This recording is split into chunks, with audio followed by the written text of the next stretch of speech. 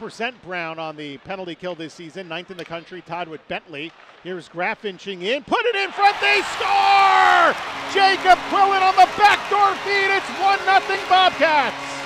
Trying to shake off his man. Lipkin digs to Quillen in front, he scores! Jacob Quillen with both Bobcats goals. This one comes 39 seconds into the middle frame. Back to Lee. Over to Serbone. Touch pass in front. They score! Lipkin! The Bobcats are two for two on the man advantage and they lead by a pair. Someone. Meanwhile, Power finds Pennington. Softly for Matt McGroarty. Gives to Cipolone. Snaps it across. Power scores! It's his first goal in college hockey, a gorgeous play, and the Cats lead 4 1. And back out to the point for Rasanen again. Lets it go in traffic. They score! That was Graf on the edge of the post, and it may have hit off him for the tally. And the Bobcats lead 5 to 1. It is Graf's tally.